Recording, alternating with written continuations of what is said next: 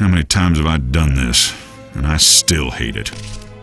I swear Abbott's full enough already. At least when you escort an inmate to death row, you know he's scheduled to get what he deserves. But you hear what this one did?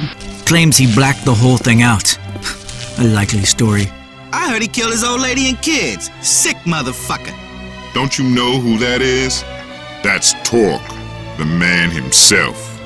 I read about your trial. They got no witnesses, all circumstantial evidence. No one knows what really happened but you.